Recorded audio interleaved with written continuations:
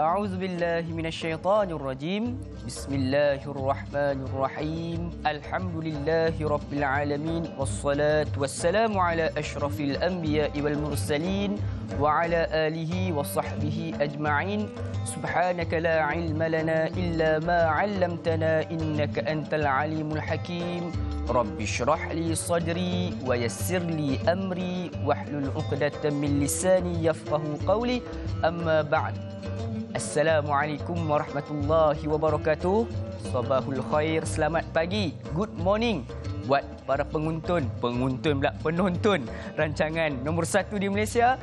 Tak lain dan tak bukan, tanyalah Ustaz. Biar tahu, jangan keliru. Alhamdulillah tuan-tuan dan puan-puan, pada hari ini, hari ini merupakan hari Selasa bersamaan dengan 3 April 2018 bersamaan 16 Rejab 1439 Hijrah.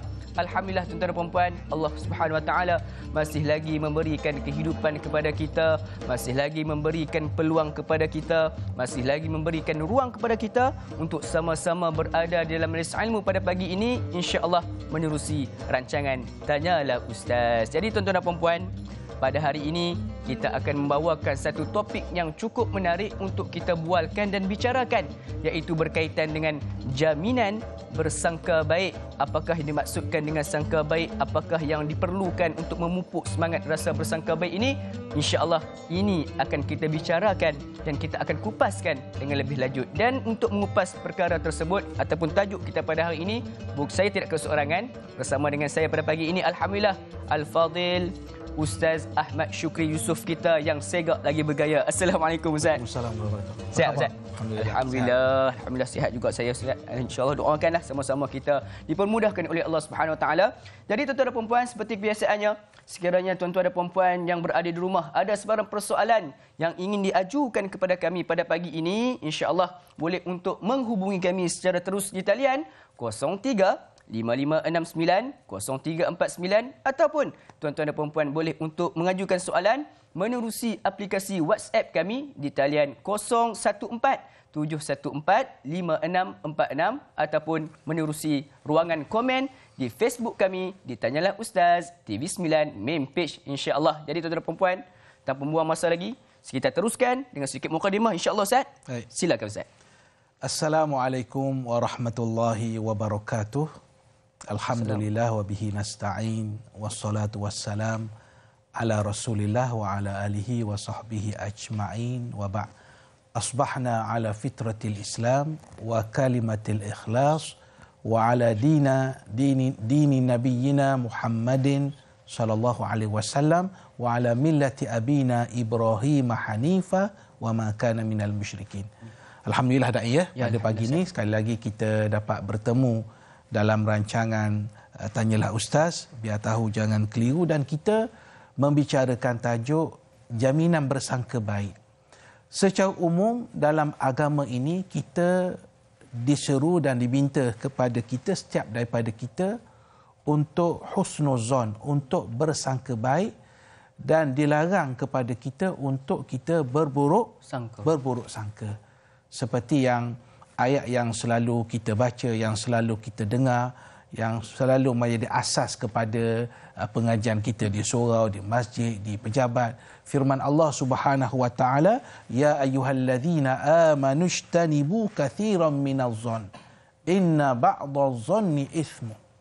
Allah Subhanahu wa taala menyebut wahai orang-orang yang beriman. Pernah saya kata saya sebut dalam rancangan kita, bila Allah Taala mulakan perkataan ataupun seruan ya ayyuhalladzina amanu. Kadang-kadang ada ya ayyuhan nas, kadang-kadang ada ya ayyuhalladzina amanu. Jadi prinsip asas kepada orang beriman bila disebut diseru ya ayyuhalladzina amanu, wahai orang-orang yang beriman, sepatutnya orang beriman termasuk kita memberi perhatian betul-betul apa sebenarnya? Apa seruan yang Allah Taala nak beritahu kepada kita. Apa saranan Allah Subhanahu Wa Taala kepada kita? Maka saranan Allah dalam ayat yang kita baca tadi hendaklah kita jauhi daripada kathiran minaz-zon. Dia bersangka-sangka. Sangka-sangka, sangkaan-sangkaan. Kerana sebahagian sangkaan itu adalah ithm, adalah Dosa. maksiat kita. kepada Allah Subhanahu Wa Taala. Jadi kalau kita lihat ayat itu sendiri dai menggambarkan kepada kita sifat orang mukmin kena jauhi larangan berburuk sangka. Kemudian untuk memperkuatkan lagi kadang-kadang bila kita kata kita uh, nak berburuk sangka ataupun kita nak suuzon kita kata aku rasa aku boleh carilah. Aku boleh cari point. Aku boleh cari hujah lah. Sebenarnya dia begini-begini. Maka Quran menyatakan wala tajassasu.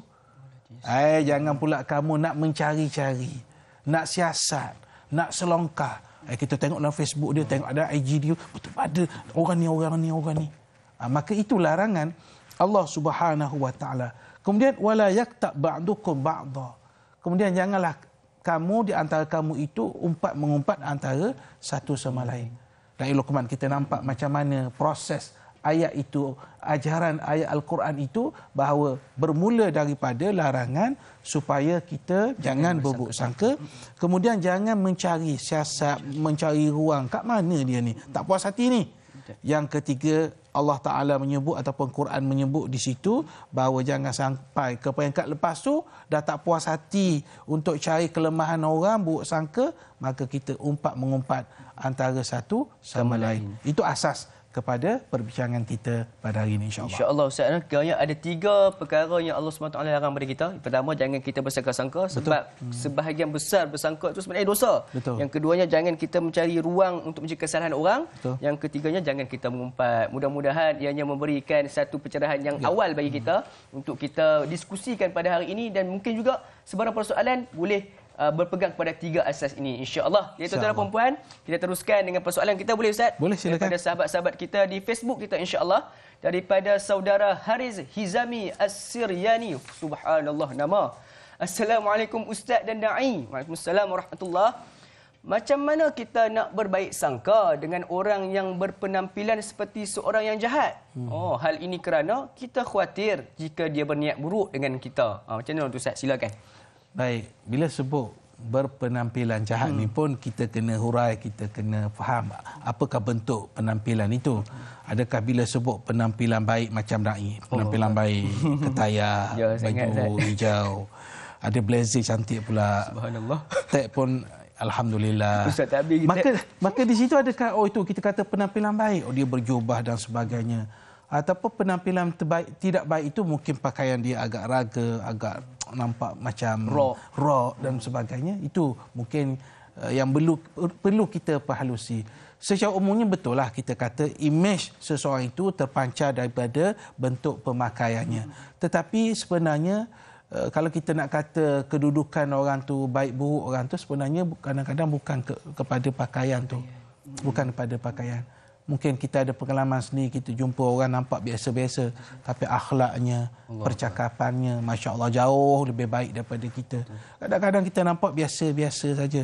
Tetapi kadang-kadang orang berpenampilan baik pakai pakaian yang nampak islami. Tapi bila bercakap mula adu domba ngumpat orang caci maki orang takabur, takabur sombong angkuh tanpa menafikan tanpa menafikan bahawa penampilan itu penting. Tetapi bukan diukur semata-mata kepada penampilan. Melainkan betul-betul cara dia berpakaian itu bercanggah dengan syariat Allah Subhanahu wa taala. Lagaknya caranya sesuatu yang melanggar syariat Allah sudah tentu. Ketika itu waktu itu kita waspada. Kita waspada. Dan kita doakan yang terbaik kepada orang tersebut InsyaAllah Ustaz, mudah-mudahan hmm. itu memberikan satu penjelasan dan penjelasan yang baik. Kita janganlah kita nak menghukum orang ini berdasarkan penampilan, Betul. pakaian Ustaz. Hmm. Kadang-kadang kita pun tak tahu juga Ustaz. Betul. Macam saya hari ini pakai macam ni Ustaz. Tapi kat luar kan, hmm. duk merempit mana tahu hmm. kan. Tapi tak merempit lah. Tapi kan. orang Terengganu kata semak jetak. Semak jetak. Ha, semak jetak ni mana handsome lah. Oh. Ha, handsome. Ustaz jangan. Allah Akbar nampaknya Baik. sebelum sebelum saya bertambah semakin kembang badan saya ni. Kita teruskan lagi soalan Baik. Ustaz insyaAllah. Daripada Facebook silakan. kita. Hmm. Daripada saudara Firaz Zahir insya-Allah. Assalamualaikum Ustaz dan Dai. Waalaikumsalam warahmatullahi.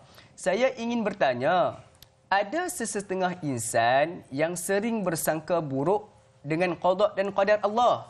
Adakah ada jaminan bertaubat dari golongan seperti ini? Mohon pencerahan. Terima kasih. Silakan Ustaz. Baik, umumnya para ulama kita ketika membincangkan tentang bersangka baik ini, mereka membahagikan bersangka baik ini kepada dua bahagian ataupun dua jenis pembahagiannya dua. Yang pertama mereka sebut husnuzan billah. Maknanya berbaik sangka itu kepada Allah Subhanahu Wa Taala. Yang kedua ialah husnuzan bin nas. Kita berbaik sangka sesama manusia. Jadi persoalan yang ditanya yang dilontarkan oleh sahabat kita tadi ialah tentang seseorang yang uh, mempunyai sangkaan yang tidak baik kepada qada dan qadar Allah Subhanahu wa taala. Dia sebenarnya begini. Yang pertama ialah keyakinan kepada qada dan qadar itu merupakan rukun iman. Ini sesuatu yang kita kata tak boleh kita pekercirkan, kita tak boleh ambil mudah sebab ini soal keimanan kita kepada Allah Subhanahu wa taala. Maknanya percaya kepada qada dan qada itu ketentuan Allah. Maknanya orang yang engkar kepada qada dan qada sebenarnya dia telah menjarakkan dirinya dengan Allah Subhanahu Wa Taala. Tetapi yang saya faham, ini saya faham dai. Yang saya faham daripada soalan tersebut ialah kadang-kadang orang tu payah nak terima. Kenapalah saya jadi macam ni? Kenapalah saya berniaga dah cuba macam-macam perniagaan tak berjaya? Kenapalah Tuhan buat saya macam ni? Tuhan tak sayang saya ke?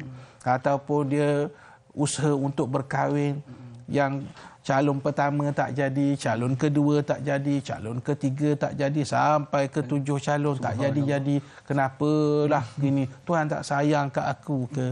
Bagi saya, perasaan-perasaan seperti itu hanyalah lintasan-lintasan syaitan.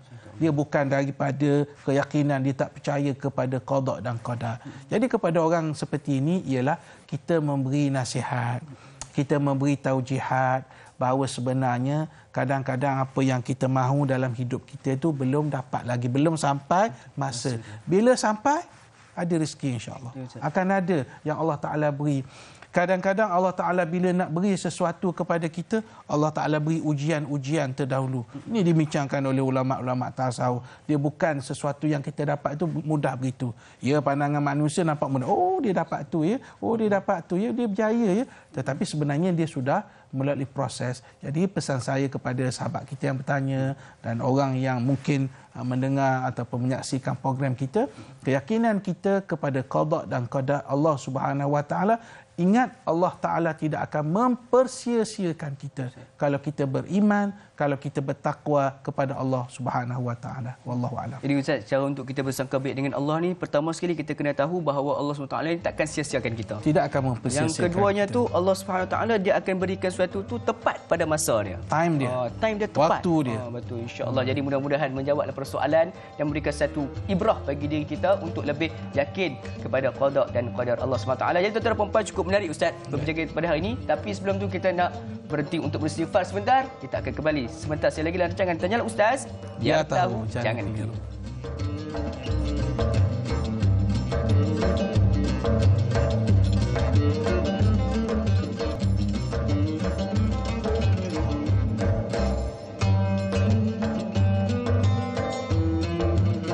Astaghfirullahalazim الذي لا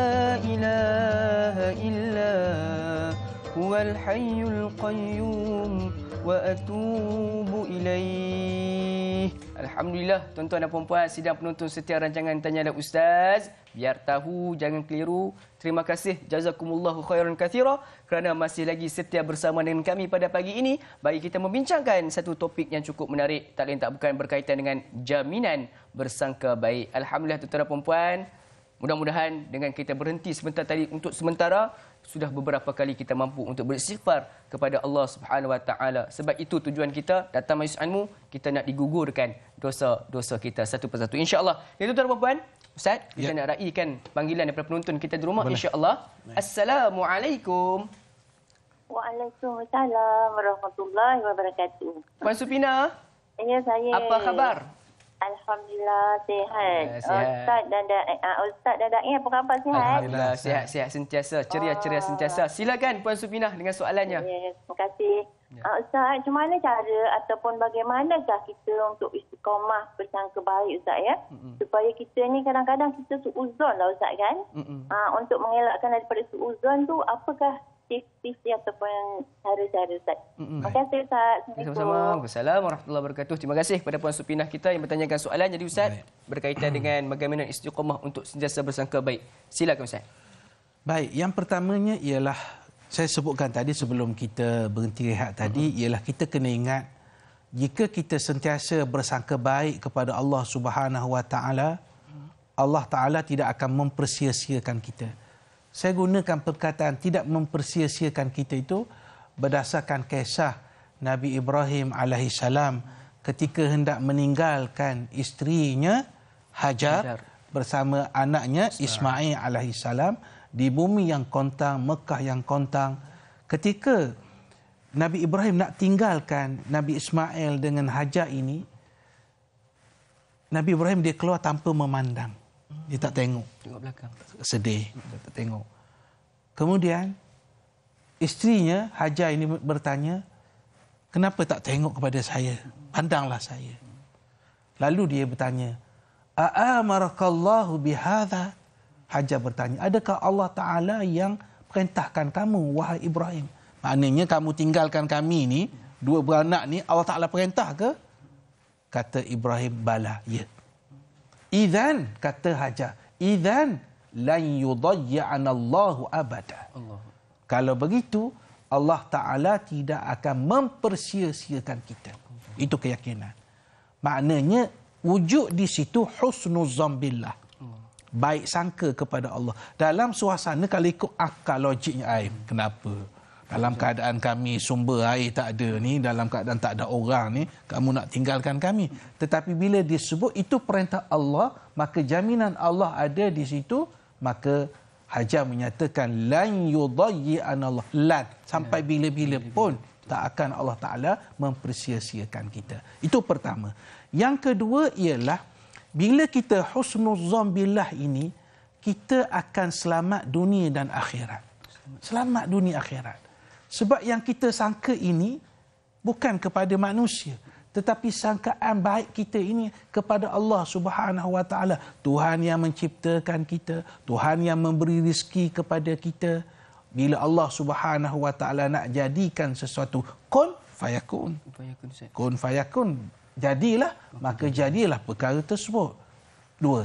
Yang ketiga, supaya kita istiqamah dengan husnuzan, kita melihat kesan baik bila bila kita berbaik sangka kepada Allah Subhanahu Wa Taala. Apa kesan baik?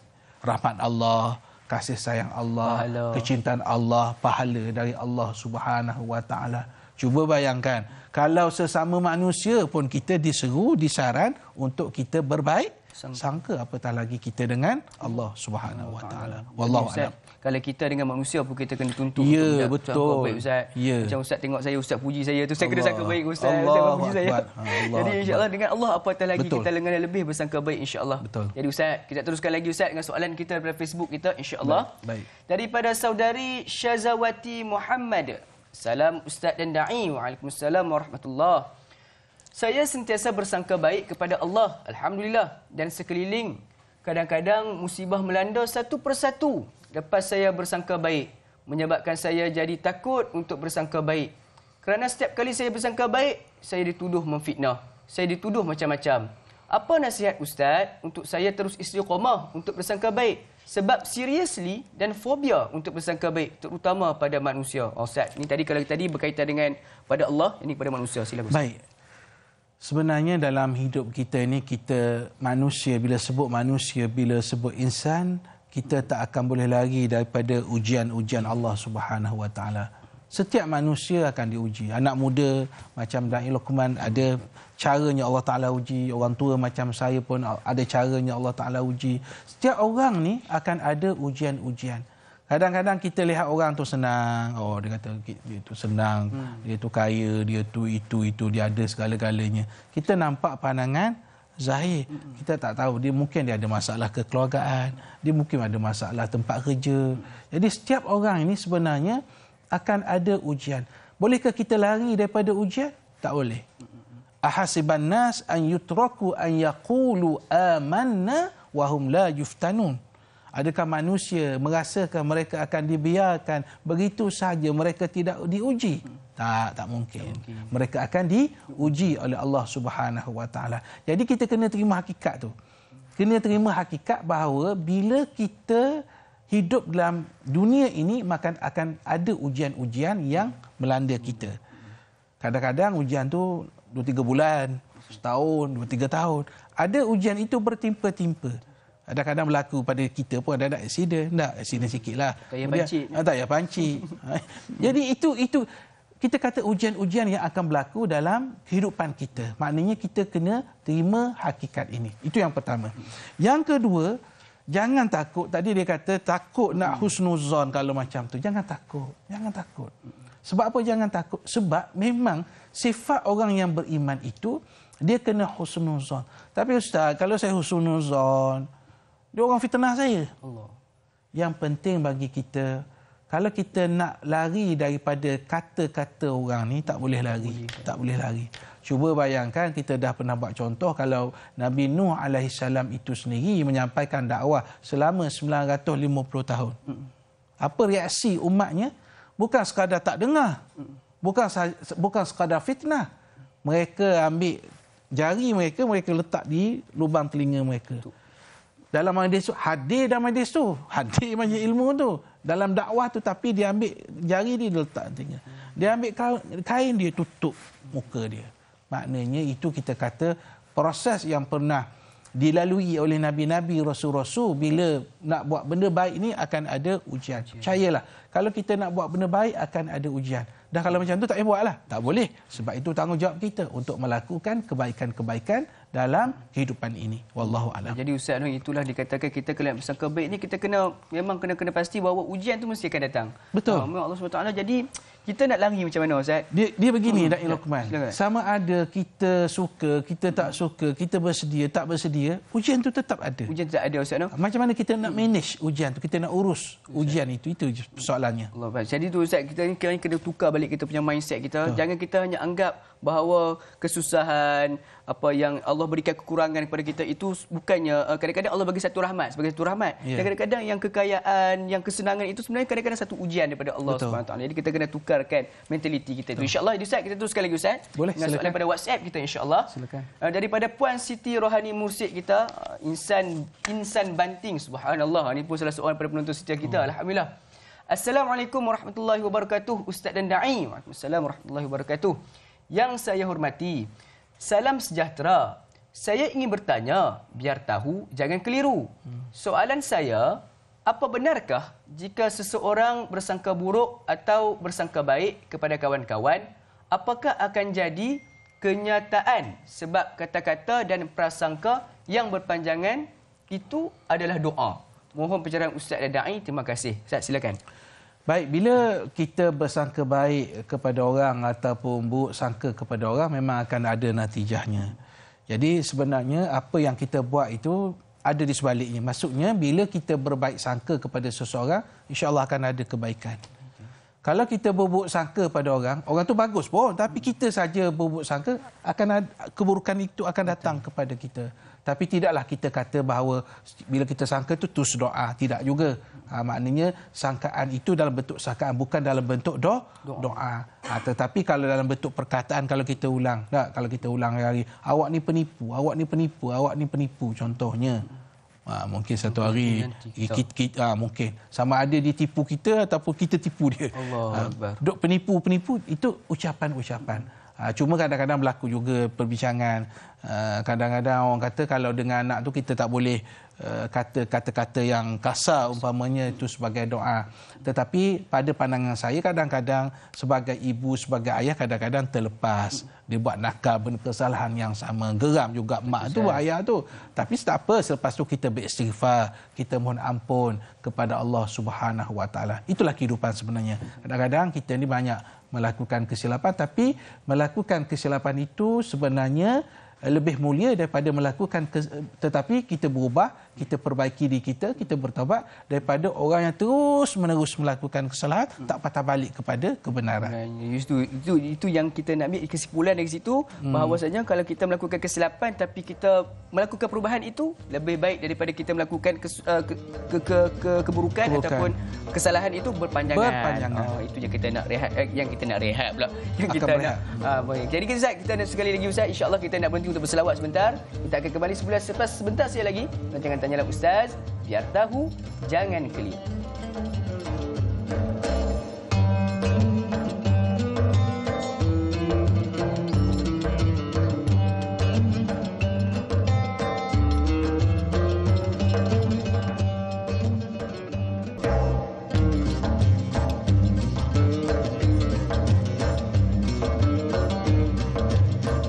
Alhamdulillah kembali bersama dengan kami pada pagi ini dalam rancangan nombor satu Bual Bicara di dalam Malaysia tak lain tak bukan tuan-tuan dan puan Tanyalah Ustaz, biar tahu, jangan keliru insya-Allah melalui dengan rancangan ini kita sama-sama membawakan ilmu ke dalam rumah anda. Mungkin sekarang ini ada yang sambil drive ke tempat kerja, dengar, membawa ilmu ke dalam kereta anda ataupun motosikal anda. Ataupun mungkin sekarang sudah ada di dalam pejabat, membawa ilmu ke dalam pejabat anda. Mudah-mudahan kita semua mendapat keberkatan daripada Allah Subhanahu Wa Taala. Tuan-tuan dan puan-puan, sekali lagi saya nak wawarkan, sekiranya tuan-tuan dan puan-puan ada sebarang persoalan berkaitan dengan tajuk kita pada hari ini, jaminan bersangka baik boleh untuk hubungi kami melalui talian 035569 0349 ataupun boleh untuk WhatsAppkan sebarang persoalan berkaitan dengan tajuk kita di talian 014 714 5646 ataupun melalui ruangan komen di Facebook rasmi kami Tanyalah Ustaz TV9 main page insya-Allah soalan-soalan yang terbaik yang fresh-fresh kita akan soalkan kepada ustaz kita insya-Allah. Jadi ustaz. Baik. Kita teruskan lagi Ustaz, insyaAllah. Saya ada satu soalan Ustaz. Ini ya. berkaitan yeah. jugalah dengan tajuk kita semalam yang kita buatkan semalam. Ya. Berkaitan yeah. dengan akhir zaman yang tersurat, yang tersirat dan tersurat. Jadi Ustaz, yeah. nak tanya juga lah Ustaz. Adakah kebanyakan ataupun timbulnya ramai ataupun rasa bersangka buruk pada diri kita ini juga merupakan salah satu daripada tanda akhir zaman itu Ustaz? Silakan Ustaz. Setakat pembacaan saya tidak ada secara jelas disebut dalam hadis maknanya Eh, bersangka buruk itu merupakan di antara tanda-tanda kiamat kecil ataupun akhir zaman. Hmm. Tetapi kalau kita lihat dari sudut kerosakan akhlak, itu disebut kerosakan akhlak yang berlaku di akhir zaman. Dan saya nampak bahawa berburuk sangka ini juga sebahagian daripada kerosakan akhlak. Kalau diperhatikan, kalau kita lihat Rasulullah sallallahu alaihi wasallam bila dibangkitkan banyak tujuan antaranya untuk manusia mengenal Allah, beriman kepada Allah, bertauhid kepada Allah, mengabdikan seluruh kehidupan kepada Allah. Tetapi di antara banyak-banyak tugasan Nabi itu ialah untuk menyempurnakan akhlak manusia. Innama bu'ithtu liutammima makarimal akhlak. Dan ini tolong terjemah. Sesungguhnya aku telah diutuskan ha. untuk uh, menyempurnakan, menyempurnakan akhlak. makarimal akhlak, kemuliaan akhlak kalau kita lihat perkataan liutamima liutamima macam Dai sebut tadi untuk menyempurnakan akhlak. Cuba lihat akhlak nabi. Nabi tak kata aku dibangkitkan sebab nak betulkan kamu yang sesat. Akhlak kamu buruk tak. Nabi kata liutamima. Untuk menyempurnakan. Ada sebahagian akhlak kamu tu baik. Sebab kalau kita lihat dalam masyarakat jahiliah ada benda-benda baik. Syajaah keberanian benda-benda baik. Betul tak? Uh, uh, husnul dhiyafah mana? Melayan tetamu dengan baik. Itu sifat-sifat positif. Itu nabi minta kekalkan. Tetapi yang kita nak sebut ialah nabi di antara perkara yang Rasulullah bawa ialah untuk menyempurnakan akhlak manusia. Maknanya daripada sangkaan yang macam-macam. Kan orang jahiliah ni banyak sangkaan.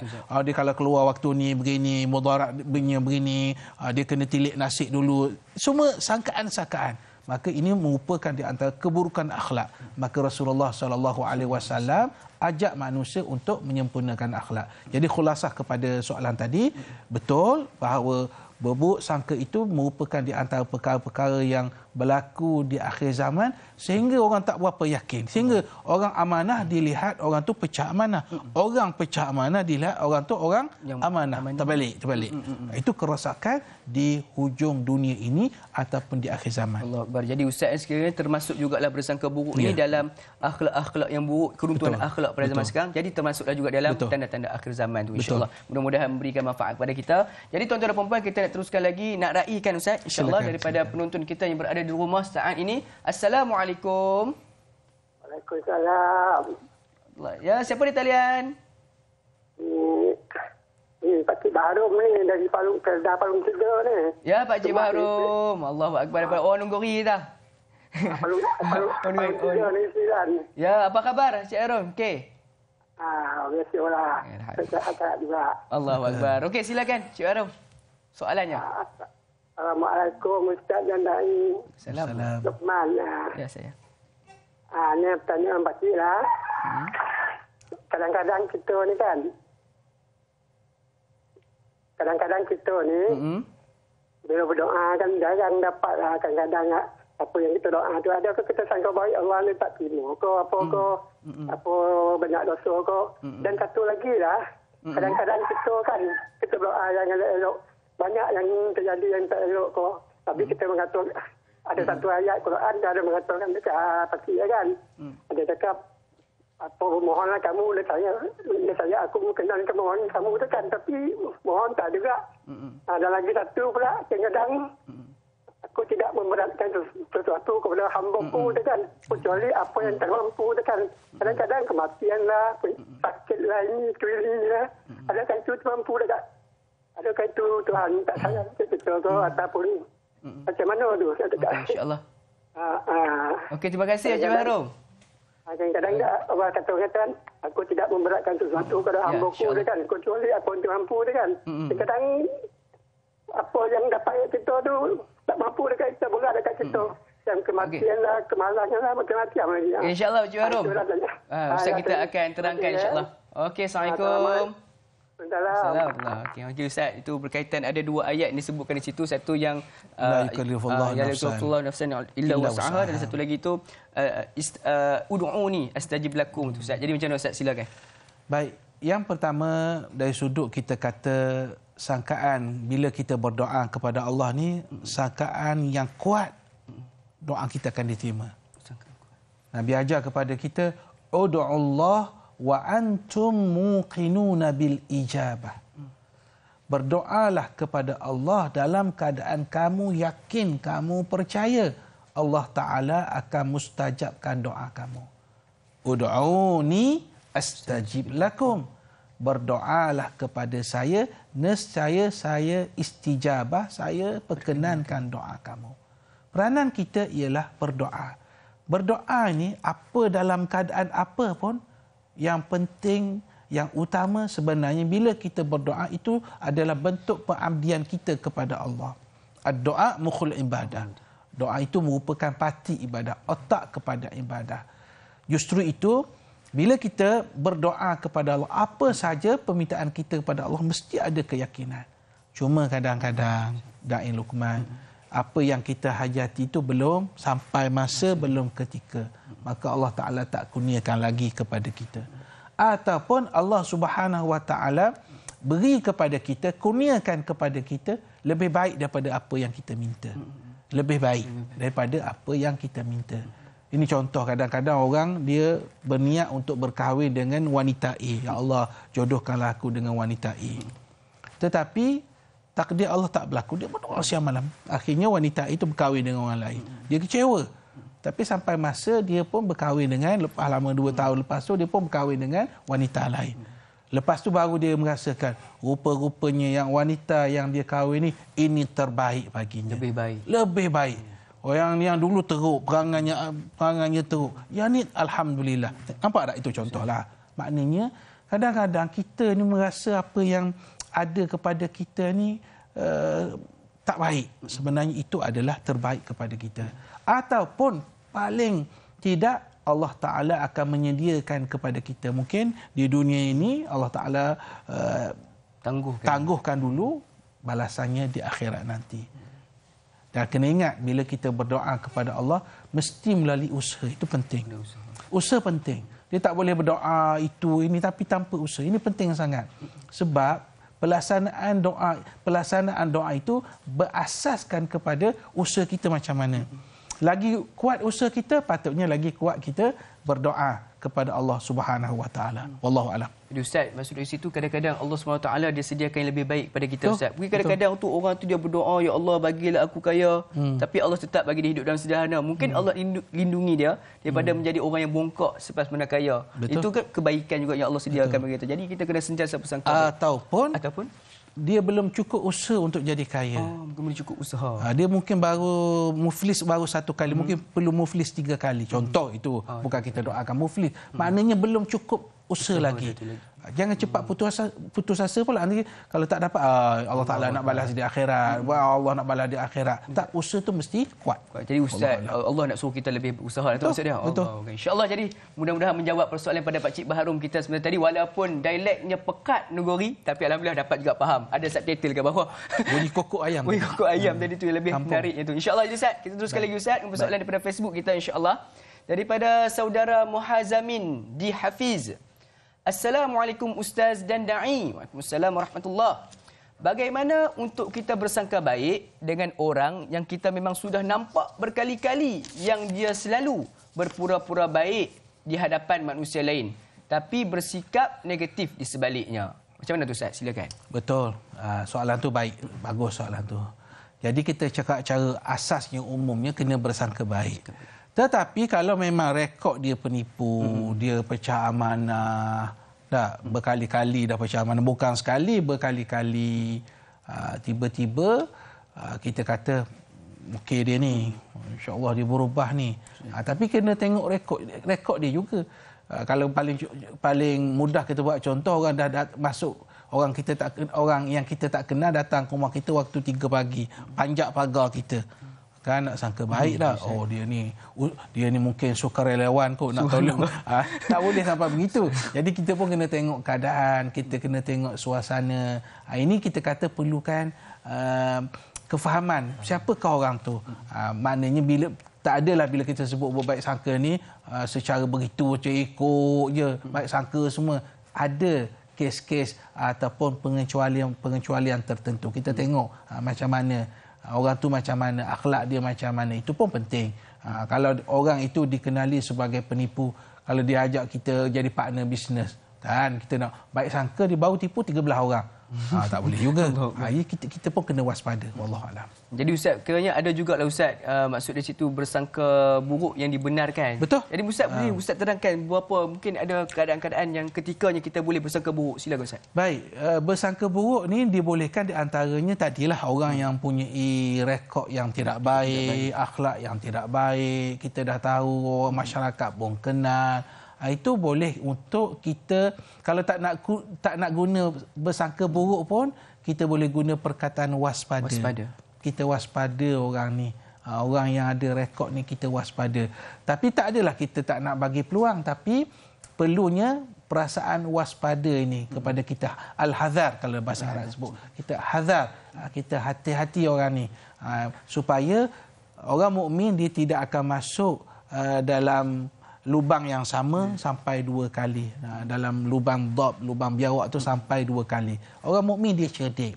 Ah, dia cerdik dia faham Ah, dia tak mungkin orang mukmin itu sampai ditipu sampai dua kali tapi kalau ditipu sampai berpuluh-puluh kali teruk benar lah tu Teruk benar Ustaz. ha, teruk benar Itu pisang berbuah berpuluh-puluh Ah, kali juga itu tu Ustaz. Allah. Akbar. Yang tu masalah. Jadi insya-Allah Ustaz banyak lagi persoalan yang kita nak jawab tapi kita nak berhenti untuk bertasbih sebentar insya-Allah. Kita kembali sebentar saya lagi dalam rancangan Tanyalah Ustaz. Biar tahu jangan keliru.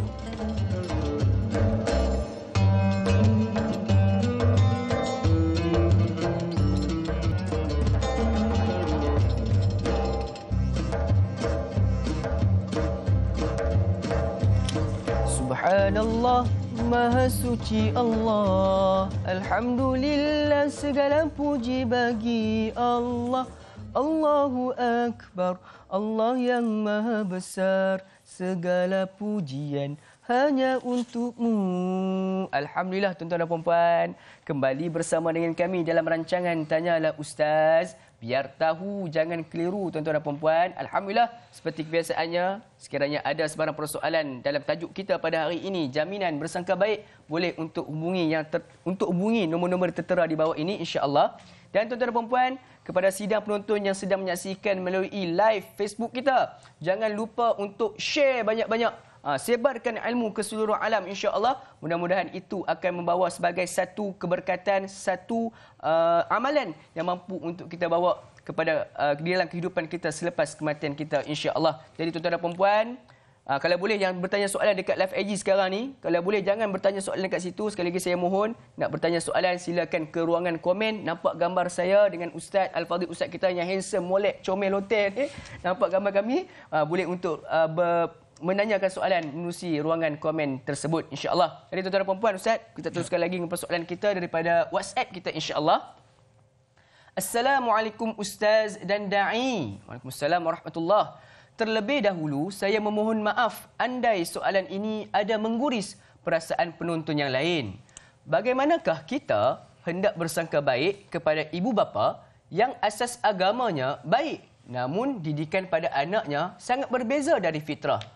Pakaiannya membuka aurat namun tidak ditegur. Mohon pencerahan ustaz wallahu alam daripada saudara kita Danish Jacob Singapore. Ah nampak ustaz rancangan tanyalah ustaz ini sudah uh, masuk ke dalam uh, satu tahap international eh ustaz. Oh. ya ustaz silakan ustaz. Baik terima kasih pada Dai Luqman, terima kasih kepada sahabat kita yang bertanya. Dalam satu hadis Rasulullah sallallahu alaihi wasallam sebut tentang kelebihan orang yang bersangka baik ini sehingga kan uh, Nabi sallallahu alaihi wasallam menyatakan husnul zanni min husnil ibadati. Husnul zan itu merupakan di antara kebaikan ibadah, benda-benda ibadah. Jadi rupanya berbaik sangka itu adalah bentuk cara untuk kita dapat pahala di sisi Allah Subhanahu wa taala. Baik, berbalik kepada persoalan tadi. Uh, digambarkan bahawa Eh, dalam bentuk pendidikan anak-anak. Mungkin si ibu si ayah itu punya akhlak yang baik eh, mungkin pakaiannya pun baik. Eh, tetapi anaknya tidak begitu contohnya. Anaknya tidak begitu. Ini persoalan yang popular lah ditanya. Saya punya pandangan begini. Saya punya pandangan ialah kita masih boleh bersangka baik kepada dua-dua orang itu walaupun anaknya tidak menutup aurat dengan sempurna. Pasal apa saya kata begitu yang pertama ialah sebab orang itu sendiri orang baik. Ayah mak ni orang baik. Jadi kita kena hormat sangka baik baru dia orang baik. Satu. Yang kedua, sangka baik kita ialah mungkin, ini sangka baik, mungkin dia sendiri pun sudah memberi pengajaran, memberi teguran kepada anak. Anak umur 20, 21. Kau tutuplah aurat dengan sempurna, pakaian ni eloklah pakai, tutuplah aurat dengan sempurna mak pun malu berjalan dengan kamu ni. Ha, mak tutup semua ni. Kamu buka semua buka contohnya. Semua. Ha, contohnya begitu. Jadi baik sangka kita dia sudah melaksanakan tanggungjawabnya sebagai ibu dan ayah dan dari sudut agama selesai. selesai. Sebab dia sudah memperingati dan dia sentiasa. Jadi baik sangka kita mesti orang ni pun dia dah tegur anak dia tapi anak dia belum berubah lagi. Dan insya Allah sampai masa, sampai ketika mak ayah ni juga dia pun sangka baik juga pada anak dia. Dan itu insya Allah anak aku lama-lama ni Allah Ta'ala beri hidayah. Cuma aku perlu sabar. Sangka baik juga. Ha, sampai masa ni dia berubah budak-budak remaja ni dia tak faham lagi. Tapi insya Allah bila umur dia meningkat sikit kefahaman agama dia meningkat insya Allah dia akan berubah. Jadi itu kita kata husnuzan. Jadi dua-dua selamat. Kita pun selamat, dia pun selamat. selamat. Ha, nak nampak keindahan kalau kita bersangka baik. Bersangka baik. Eh, Ustaz, hmm. mak ayah ni Ustaz, yang baik ni, selalunya mak ayah yang baik ni jarang-jarang lah tak tegur anak-anak. Bila saya percaya begitu, selamat. saya yakin begitu. Ustaz, tapi mungkin hidayah tu milik Allah. Betul. Kan? Macam Nabi lah, Nabi ber, berdakwah kepada bapa saudara yang namun tak tak diterima kan juga Abu Abi Talib tapi nak katakan macam mana? Hidayah milik Allah SWT. Betul. Jadi hmm. insya-Allah mudah-mudahan menjawab persoalan. Jadi Ustaz, kita ada panggilan lagi insya-Allah daripada penonton kita di rumah. Assalamualaikum. Waalaikumsalam warahmatullahi wabarakatuh. Berkata ya, Ustaz. siapa tadi? Adik Ustaz. Ya, saya. Assalamualaikum. Assalamualaikum warahmatullahi wabarakatuh. Apa khabar anak makcik Amidah? Alhamdulillah syukur dengan rahmat Allah. Cik ni walaupun Cik sakit. Allah. Allah bagi Cik boleh bergerak dengan izin Alhamdulillah. Allah. Alhamdulillah. Ha, semua Semua- Allah tu semua sayang pada hamba-hamba dia, Dek. Betul, semua betul. Allah sayang pada hamba-hamba dia. Betul. Allah tak pernah buruk sangka pada kita. Tapi kita yang selalu buruk sangka pada Allah. Allah Walaupun hati sakit, hati selalu berdoa pada Allah. Ya Allah, Tuhan aku bersyukur pada engkau kerana engkau bagi aku sakit. Supaya aku ber, lagi berbaik sangka pada semua hamba-hambamu dalam dunia ni. Ya. Ya Allah, ampunkan semua dosa-dosaku, Ya Allah. Ya. Ustaz minta maaf saya cakap macam ni, Ustaz. Eh, ya. tak apa, tak apa, tak apa. Ha. Saya uh, memang selalu bersyukur pada Allah. Apa-apa yang Allah bagi pada hati, hati bersyukur ya Allah Tuhan. Aku terima kasih. Lagi satu Ustaz, saya nak tanya. Mm. Tapi ini memang terjadi pada saya. Ya, silakan, Encik Mida. At- Atik tidur, Atik pernah dapat tu, Atik ingat Atik nak meninggal. Tapi Atik rasa Allah tu dekat sangat. Atik memang menggigil malam tu. Memang Atik takut masa tu pukul 3 pagi. Allah. Ini Atik cakap ni kerana Allah. Atik tak ada cakap sorok-sorok. Bukan Atik bangga tak. Ni Atik cakap biar semua dapat. Ada orang kata Allah tak sayang dia. Tak. Allah memang sayang pada semua hamba. Yang, di, yang Allah jadikan dan hidup dalam dunia dia. Hmm, InsyaAllah. Minta maaf lah uh, Atik cakap macam ni ya. Baik. Atik doakan InsyaAllah. Ustaz dan adik ni murah rezeki panjang umur Amin, amin, Rabbal Alamin. Mudahkan perjalanan kita dunia dan akhirat. Amin. Terima kasih Encik Mida. Assalamualaikum warahmatullahi wabarakatuh. wabarakatuh. Waalaikumsalam warahmatullahi Jadi Ustaz, sedikit pandangan Ustaz insya-Allah. Ini hebatnya rancangan Tanyalah Ustaz, Ustaz. di TV9 ini. Kita bukan sekadar berkongsi di studio. Penonton-penonton kita juga memberi pengalaman hidup yang sebenarnya memberi motivasi. Dia bercakap tu dia sedang diuji dengan sakit. Betul Ustaz. Orang sehat memang senang cakap. Kalau kalau sakit sabar sebab sehat. Betul, Ustaz. Sekarang orang sakit dia beri motivasi kepada kita, dia dia ajar kepada kita, diingatkan kepada kita saya tulis ini Allah sayang kepada hamba-hamba dia kata tadi. Walaupun dalam perkadaan Allah sayang dan kita mesti melahirkan syukur kepada Allah Subhanahu Wa Taala. Ha, justru itu Rasulullah sallallahu alaihi wasallam mengajar kepada seorang sahabat kata Nabi jangan kamu tinggalkan doa ini selepas solat kamu. Allahumma a'inni ala dzikrika wa syukrika wa husni ibadati. Ya Allah ya Tuhanku, a'inni bantu saya. Tolong saya. Untuk apa? Ala dzikrika untuk saya sentiasa ingat kepada kamu. Wa syukrika saya bersyukur kepada kamu. Wa husni ibadatik dan juga saya sentiasa mengabdikan diri kepada kamu. Cantik doa Nabi ajar kepada kita supaya kekal tiga perkara ni dalam kehidupan kita. Wallahu a'lam. Jadi Ustaz sebenarnya kasih sayang daripada Allah Subhanahu Taala tu lebih dekat dengan kita sebenarnya daripada murka dia Ustaz. Betul. Jadi itulah kadang-kadang kita ni dia tak sedar Ustaz. Betul. Sebab itulah kita ni bila mana tak sedar itulah menyebabkan kita ni nak bersangka buruk dengan qada-qada qada dan qadar Allah. Jadi tuan-tuan dan puan ingat Allah sayang kita, kita kena sayang balik pada Allah Subhanahu Taala sebab Jangan biarkan kasih sayang Allah itu bertepuk sebelah tangan. Subhanallah. Oh. Ayat orang lama. Ustaz. Falsafah. Falsafah. Ustaz. InsyaAllah. Jadi Ustaz, kita teruskan lagi dengan soalan pada WhatsApp kita insyaAllah. Assalamualaikum Ustaz dan Da'i. Waalaikumsalam warahmatullahi Saya mau tanya. Silakan. Bagaimana hubungan sangkaan kita dengan orang yang non-Muslim? Adakah perlu bersangka baik atau macam mana? Mohon pencerahan Ustaz dan Da'i. Thank you Ahmad Shah Alam. Tapi saya rasa saya tak buat pencerahan. Silakan Ustaz. Ustaz buat pencerahan. Baik. Sebenarnya hubungan sesama manusia ni dia tak kira muslim ataupun non muslim. Dari sudut jual beli, dari sudut komunikasi, dalam sudut apa-apa hubungan pekerjaan, dia sama saja antara muslim dengan non muslim. Orang muslim kita kena buat baik, non muslim buat baik. Orang muslim kita kena tepat janji, non muslim pun kena tepat tepat janji. Orang Muslim kita kena baik sangka, orang non-Muslim pun kita kena baik sangka. Melainkan orang yang betul-betul isytihar musuh, menentang Islam, menentang agama Allah, berusaha untuk menghapuskan agama Allah. Yang tu memang tidak ada kompromi. Tetapi secara umum dalam masyarakat majmuk kita hari ini, di negara kita tercinta Malaysia ini, perlu kita berbaik sangka kepada Muslim, kepada non-Muslim. Jangan kita beza-bezakan. Ha, yang ni orang Muslim. Oh, kita kena tepat janji. Dia non-Muslim ni. Oh, dia tak Islam ni. Tak apa, tak dosa. Siapa kata tak dosa? Kan Tuhan sebut, I'dilu wa aqrabu taqwa. Berlaku adil kerana adil itu lebih dekat kepada ketakwaan. Ayat sebelum itu, wala yajrimannakum syana'anu qaumin ala alla ta'dilu. Janganlah kebencian kamu kepada sesuatu kaum menyebabkan kamu tidak berlaku adil. i'dilu wa aqrabu littaqwa. Laksanakan keadilan sebab adil itu lebih dekat kepada ketakwaan.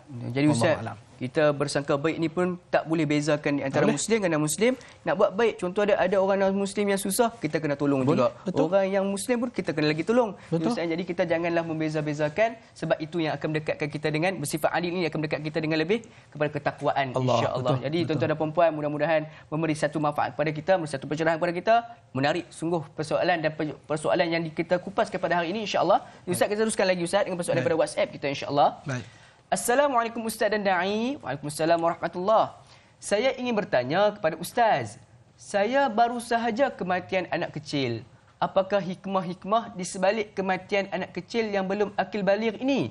Dan apakah jaminan kepada ibu bapa yang redha kepada ujian ini di akhirat nanti? Tapi pertamanya kita ucapkan salam takziah. Innalillahi wa inna ilaihi raji'un. La tuhur insya-Allah. Jadi Ustaz sebagai jawapannya. Baik kematian ini di antara bentuk ujian yang disebut oleh Al-Quran. Kehilangan nyawa ini di antara ujian-ujian yang bukan mudah. Kehilangan anak, kehilangan suami, kehilangan isteri, kehilangan ibu, kehilangan ayah.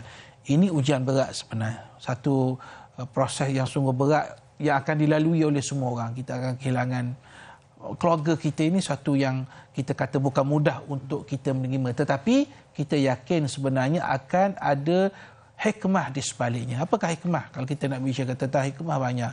Di antaranya ialah Allah Ta'ala nak melihat bagaimana kita ni. Kesabaran kita macam mana. Keyakinan kita kepada janji Allah Subhanahu Wa Ta'ala macam mana. Itu yang pertama. Yang kedua ialah bila Allah Ta'ala uji ni, Allah Subhanahu Wa Ta'ala nak minta kepada kita supaya kita lebih dekat kepada Allah. Mungkin sebelum ni kita jauh ataupun dekat. Tapi kalau yang jauh kita nak dekatkan kalau dah dekat kita nak dekatkan di kita ini kepada Allah Subhanahu Wa Taala. Kemudian apakah uh, anak-anak ini akan menunggu kita di syurga? insya-Allah. Berdasarkan hadis memang anak-anak ni akan menunggu kita kedatangan kita. Dan saya pernah terbaca hadis betapa ada di kalangan kita ni kadang-kadang mendapat syafaat daripada anak-anak kita ha, kita dah buat amalan tapi tak berapa nak cukup hmm. jadi anak-anak ni beri syafaat kepada kita ditunggu kita dia panggil kita ini kita kata bila kita husnuzam billah kita baik sangka kita melihat bukan dunia je kita melihat sampai ke akhirat. Mana positif ialah hari tak sempat lama di sini tapi insya-Allah aku akan berjumpa dengan anak aku ni di akhirat mungkin dia akan boleh beri syafaat kepada aku. Indahnya kalau kita sentiasa berbaik sangka. Sangka Allah, Allah SWT. Ustaz, Betul. Itu, Ustaz, mungkin kadang-kadang hikmah Allah SWT kita pun tak tahu. Tak Ustaz. tahu. Kan, mungkin hmm. Allah nak sediakan lebih baik kepada kita di akhirat nanti Betul. tu. InsyaAllah. Jadi tuan-tuan dan perempuan, cukup menarik perbincangan kita semakin panas semakin hangat dalam konti kita pada hari ini insyaallah kita dan puan kita berhenti untuk bertasbih sebentar insyaallah kembali semula sebentar saja lagi dalam rancangan tanya ustaz biar tahu ustaz jangan, jangan keliru, keliru. Hmm.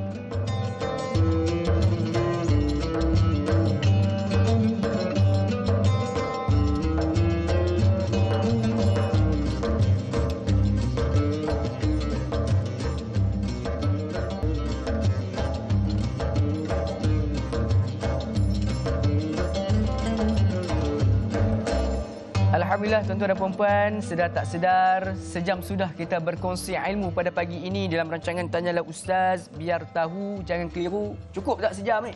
Nak tanya dulu. Ha, kalau tak cukup, insyaAllah kita ada lagi setengah jam. Jadi tuan-tuan dan puan-puan, jangan buang masa sekiranya ada sebarang persoalan berkaitan dengan tajuk kita pada hari ini, jaminan bersangka baik. Terus hubungi kami melalui nombor-nombor yang tertera di bawah ini. InsyaAllah, mudah-mudahan bermanfaat buat anda yang bertanya dan juga buat yang sedang menyaksikan kita pada pagi ini. InsyaAllah. Jadi tuan-tuan dan puan-puan, kita nak raikan uh, panggilan daripada penonton kita di rumah. InsyaAllah. Assalamualaikum. Waalaikumsalam warahmatullahi wabarakatuh. Ya. Saya Zainal Ahmad di Taman Kota Jaya, Kota Tinggi Juhu. Ya, Tuan, ya. Tuan Zainal. Dikenali Pak Zainal, ya. Sehat ke Tuan Zainal? Alhamdulillah. Alhamdulillah. Pak Zainal mendengar ni. Allah Akbar. Alhamdulillah. Terima kasih. Apa khabar Ustaz dan Da'i? Alhamdulillah. Alhamdulillah. Sihat Tuan Zainal. Tanyalah Ustaz biar tahu jangan keliru. Inilah hari-hari Pak Zainal buat Pak mendengar Allah kan. Akbar. Terima kasih tadi, Pak Zainal. Macam saya mendengar Cik Medah bercakap tadi, saya terharu. Sebab apa? Saya memang ingat saya macam itulah. Hmm. Saya biasa terharu. Memang suka yang Cik, uh, Cik Medah bercakap tadi. Terima kasih Cik Medah. Uh, bila kita ingatkan mati. Saya tak bersangka. Hmm. macam ni, ni, macam ni Ustaz. Hmm. Ni, Ya, ya. kita lima sebelum lima, saya sekarang ni hidup sebelum mati yang saya ingat sekarang ni. Allahu Sebab apa?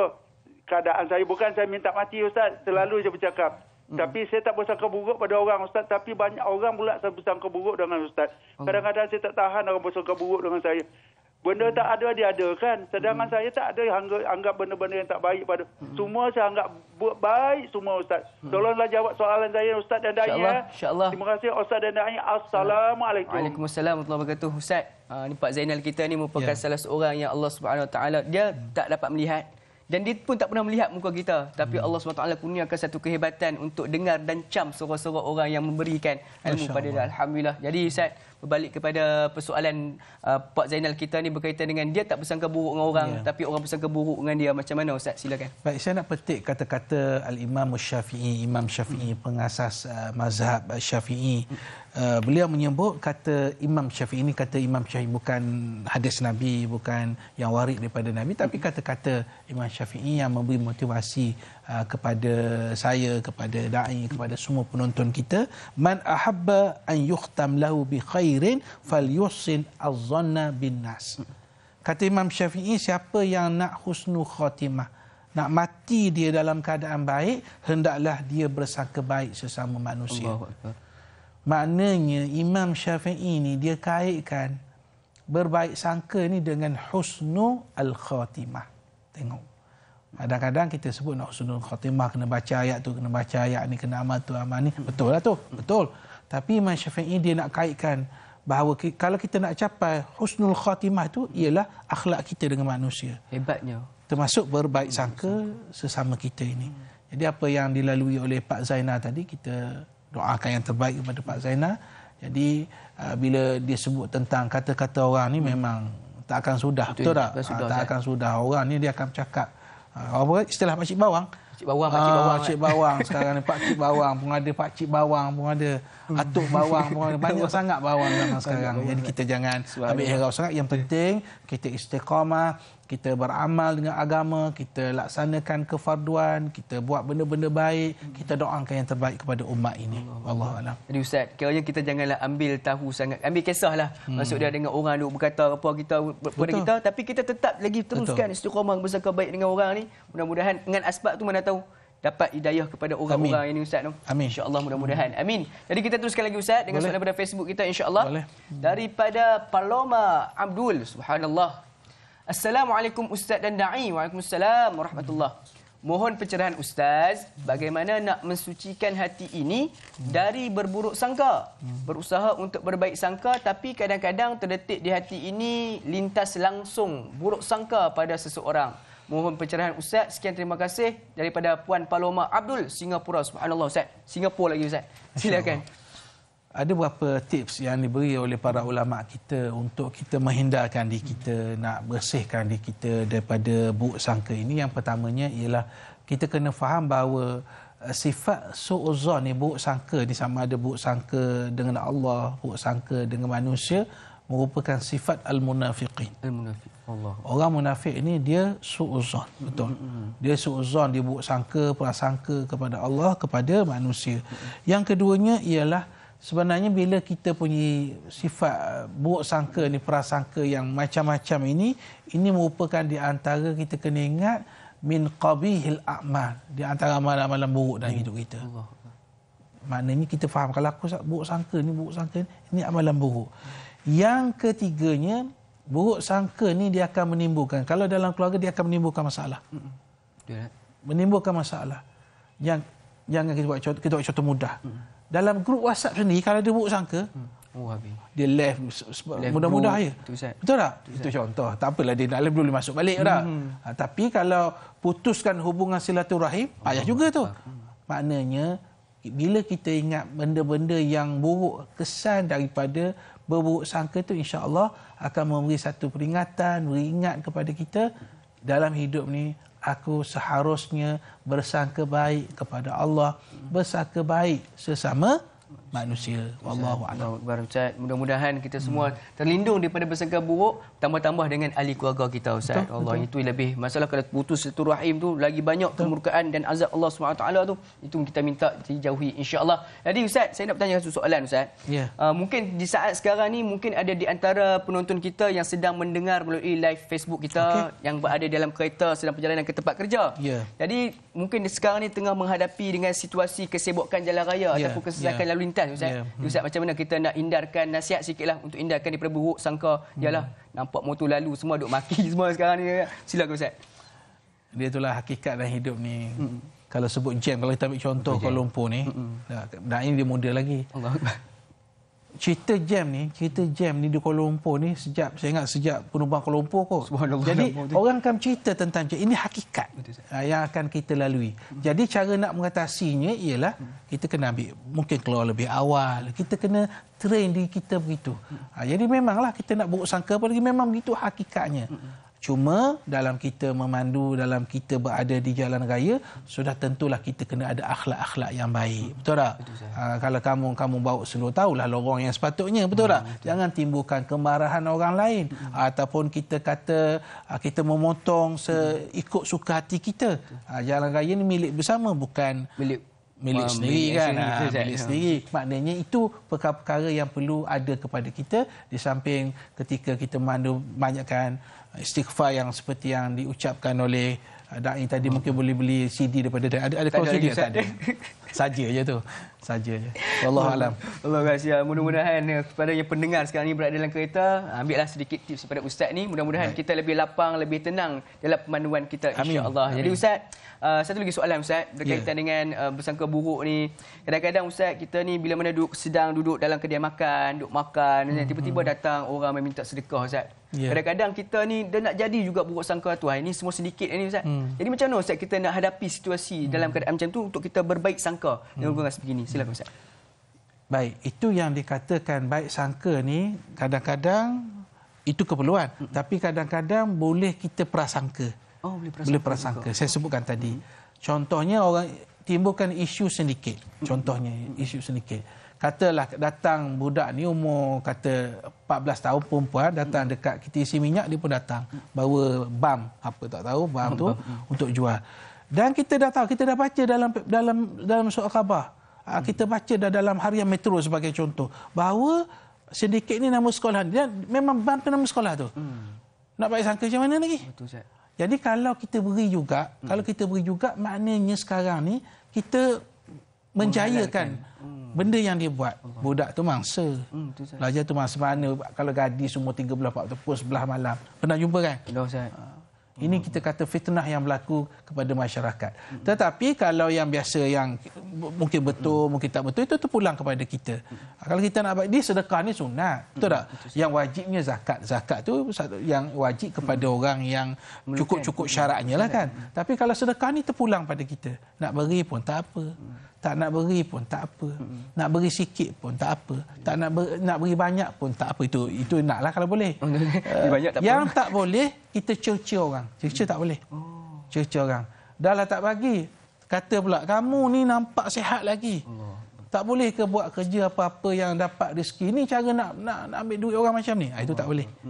Ha, itu yang yang dia yang dilarang oleh agama. Agama ni dia cukup ambil berat soal apa yang perkataan yang kita lafazkan. Sebab apa yang kita lafazkan itu ada rokib, ada atid yang akan catat amalan kita, perkataan kita.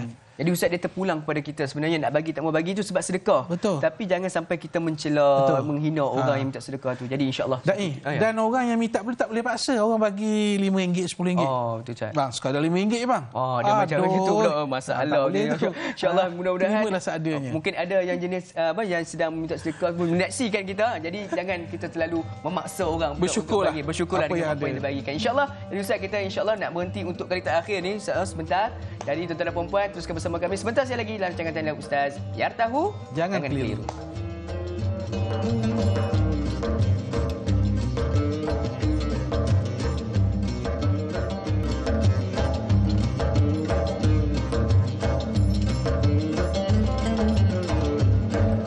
Alhamdulillah, terima kasih kepada sidang penonton yang masih lagi bersama dengan kami setia terus berada di hadapan kaca TV anda untuk menyaksikan rancangan Tanyalah Ustaz.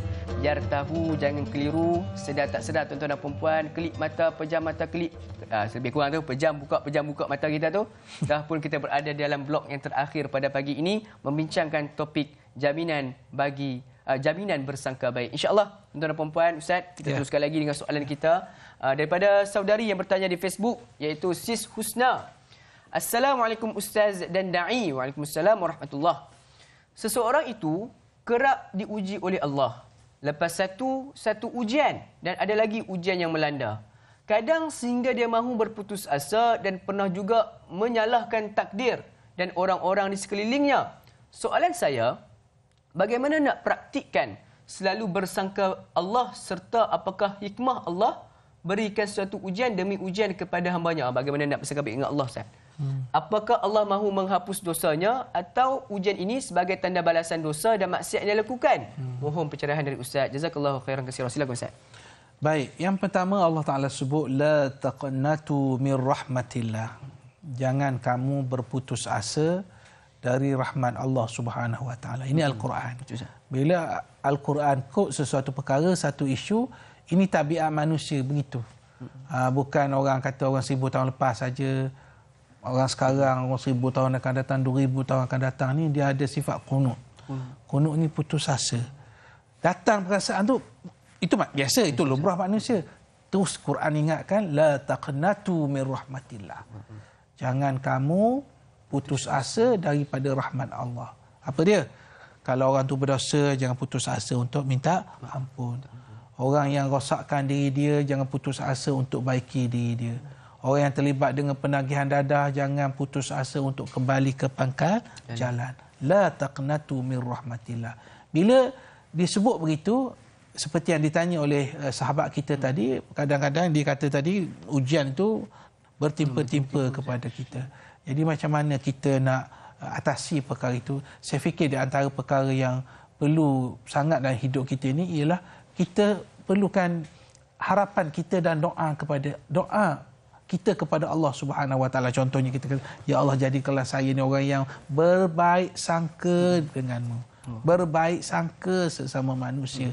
Ha, kerana dalam maqasid doa, kalau kita ulang dalam dalam maqasid doa, dalam matlamat doa, bila kita doa, doa, doa itu selain daripada doa itu ada permintaan kita pada Allah, dia sebenarnya memberi satu inspirasi semangat pada kita. Sebab kita dok baca, kita dok ulang. Kita dok ulang benda sama, inspirasi kepada kita. Itu yang pertama. Yang kedua, mungkin yang boleh kita buat juga ialah kita jangan uh, melihat sesuatu perkara itu sekadar perkara yang berlaku sekarang. Natijah tu yang dekat. Kita, kita ni, saya kita ni nampak benda dekat kita tak nampak benda lepas 10 hari, lepas sebulan, lepas tahun. Kita tak nampak. Kita nampak yang dekat. Hmm. Kalau kita gagal satu perkara, oh gagal dah benda-benda besok. Yang lima tahun akan datang? Kita tak tahu. Tak tahu. Betul. Mungkin dengan sebab kita gagal hari ini, kita usaha akan datang kejayaan pada satu hari nanti. Nak suruh saya berhenti ke macam nak suruh berhenti? Eh, tak, tak ada ya? Ha, Itu perkara-perkara yang perlu ada kepada kita supaya insya-Allah kita Allah Taala beri kekuatan kepada kita untuk kita bersangka baik sama ada kepada Allah ataupun sesama manusia. Jadi, baik, silakan. Jadi nak suruh Ustaz berhenti. Ini betul nak berhenti. Betul tak? Sebab ha, kita okay. nak meraihkan panggilan daripada penonton kita di Sebab rumah. Sebab cara senyum tu macam nak suruh berhenti. Ha, okay. okay, Assalamualaikum. Waalaikumsalam warahmatullahi taala wabarakatuh. Ustaz dan dai Haji Tukinon, Haji Muhammad Saleh ya. Tuan Haji Tukinon, apa khabar? Alhamdulillah mendung sajalah ini dari tapi sana macam mana mendung juga ya. Oh alhamdulillah. Saya tak tanya lagi cuaca dah jawab alhamdulillah. Jadi Tuan Haji Tukinon silakan dengan soalan. Okey okey soalannya begini ustaz ya. ya. Uh, kita, uh, Allah kita bersangka baik dengan Allah. Mm-hmm. Allah tetap memberi kebaikan seperti uh, dia memberi rezeki, memberi kemudahan, memberi kesenangan kepada orang-orang yang tak berdoa ataupun orang-orang yang lalai dengan segala perintahnya. Contoh istirsyad itu ya Allah Taala bagi. Hmm. Tapi kalau kita bersangka baik dengan manusia, adakah balasannya tu ada ke ataupun contoh ya, hmm. aku harapkan uh, contohnya lah Uh, Daik Luqman akan bagi sesuatu ke aku pasal aku baik dengan dia. Allah Jadi, Akbar. adakah, adakah macam ini? Ini sebagai contoh saya. Minta maaf ya. Itu saja soalan saya pagi ini. Terima kasih. Assalamualaikum. Assalamualaikum warahmatullahi wabarakatuh. Kalau nak something daripada saya insya-Allah nanti kita jumpa.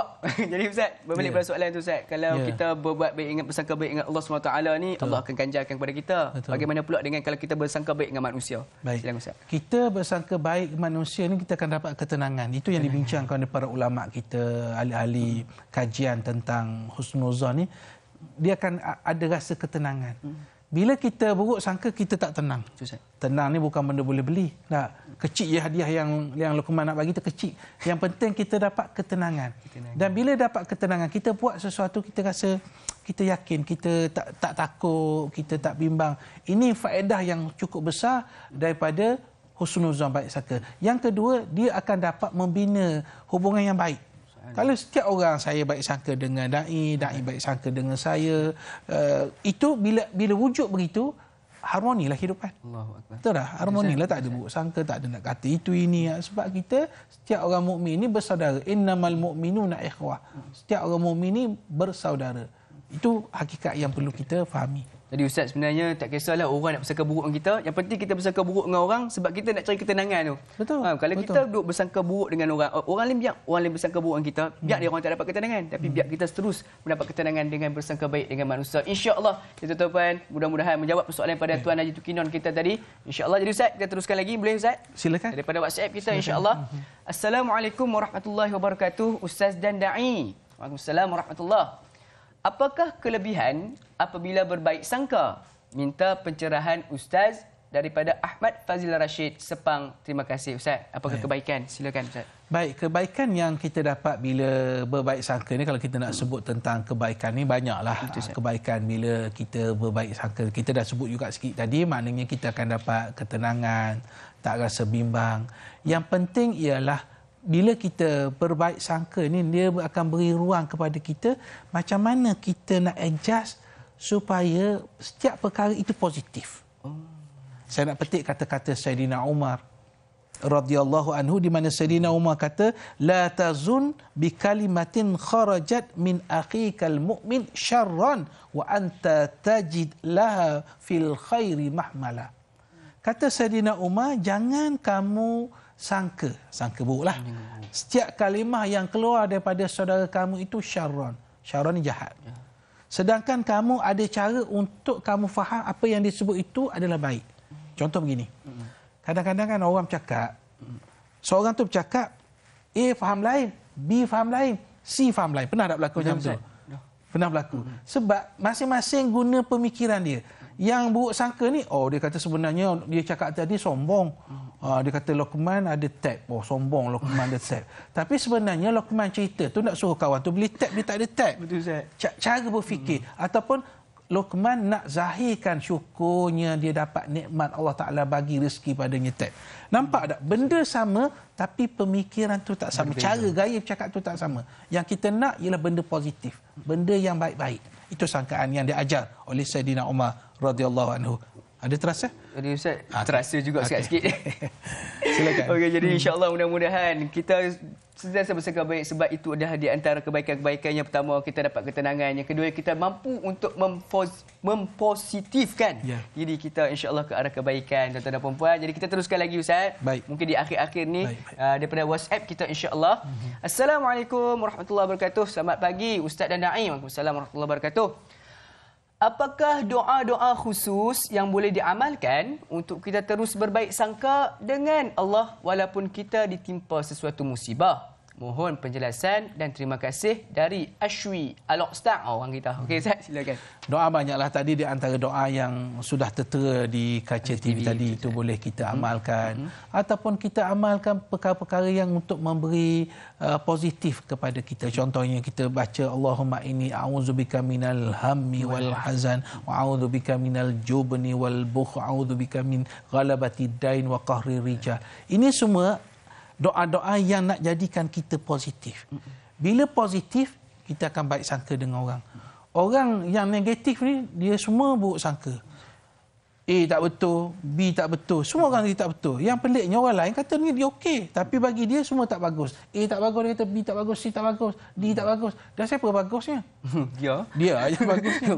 ha, itu kepentingan untuk kita berbaik sangka dalam kehidupan. Wallahu a'lam. InsyaAllah mudah-mudahan hmm. dengan sedikit doa yang Ustaz kongsikan itu kita mampu untuk amalkan. Mudah-mudahan kita terhindar diri kita daripada perkara-perkara yang tercela oleh Allah SWT. InsyaAllah. Jadi tuan-tuan dan puan oh ada lagi Ustaz. InsyaAllah soalan pada Facebook kita. Baik, baik. Daripada Muhammad Hidayat. Assalamualaikum Ustaz dan Da'i. Waalaikumsalam warahmatullahi wabarakatuh. Saya ada satu soalan. Perlukah kita meminta maaf dengan orang yang kita bersangka buruk? Oh, menarik soalan ini soalan. Hmm. Silakan Ustaz baik untuk meminta maaf secara terus. Sebab ini bentuk sakaan dia bukan bentuk kita kata kalau kita lafaz kita fitnah itu betul. Kita betul, kena minta maaf. Tapi dalam bentuk pemikiran ini tak perlu. Cuma kalau kita nak minta maaf umum macam tu boleh, boleh. tapi janganlah pula dia kadang-kadang kita kalau betul terang ni menimbulkan kemarahan dia. Sebenarnya aku buruk sangka pada kau dah 15 tahun aku buruk sangka pada kau A B mm. Ay, dia kata lain macam orang ni. Akhirnya yang elok-elok baik silaturahim pecah jadi kita kena bijak. Ha, bijak sana orang kata tak? Oh, ha, bukan bijak sini. bukan bijak sana.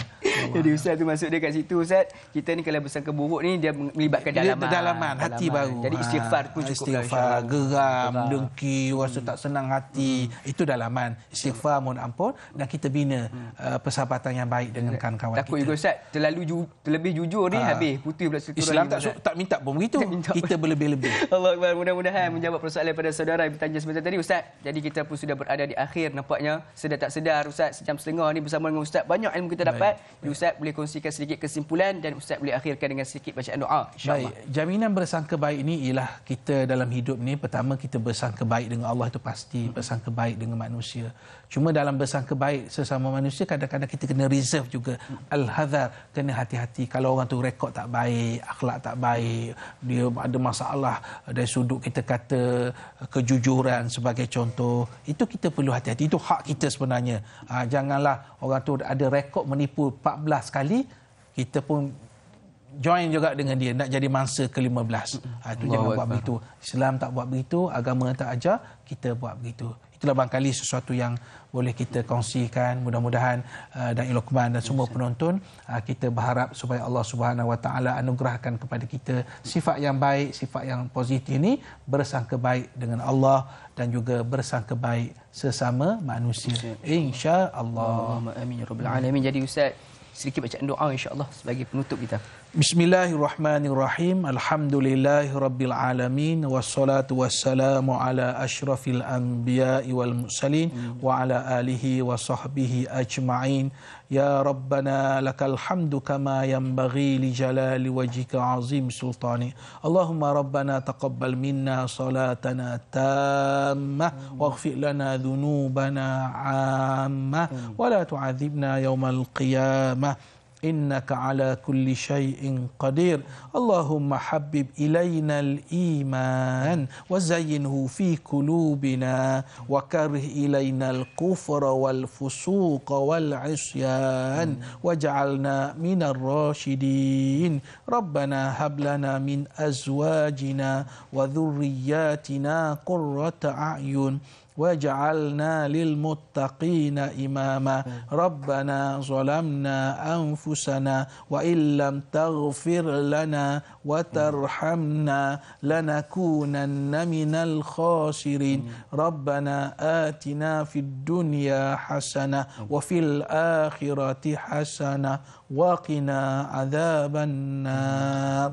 وصلى الله على سيدنا محمد وعلى آله وصحبه وسلم. والحمد لله رب العالمين. Taqabbal Allah minkum. Inna wa minkum taqabbal ya karim. Amin amin ya rabbal alamin. Mudah-mudahan dengan bacaan doa sebentar tadi majlis ilmu kita pada pagi ini diberkati Allah SWT dan dosa-dosa kita semua diampun insya-Allah. Jadi Ustaz jazakallahu khairan kasih Ustaz di atas okay, ilmu pada hari ini. Mudah-mudahan memberikan manfaat buat seluruh umat manusia khususnya kepada penonton setiap rancangan Tanya Ustaz TV9. Biar tahu jangan keliru. Alhamdulillah. Jadi sekali lagi uh, kami saya mewakili kru produksi mohon keampunan selama dua hari kita berlangsung Ustaz bersama ni bergandingan bersama ni sekiranya ada terkasar bahasa tersilap di mana-mana mohon dimaafkan kami juga insan biasa tak terlepas daripada dosa insya-Allah. Jadi sebagai kalam hikmah penutup kita pada hari ini, semakin banyak kita bersangka baik, maka jiwa kita akan tenang, lebih ikhlas dalam bergaul, lebih banyak kebaikan, lebih banyak kasih sayang dan lebih banyak perhatian. Akhir kalam, wabillahi taufiq wal hidayah. Wassalamualaikum warahmatullahi wabarakatuh.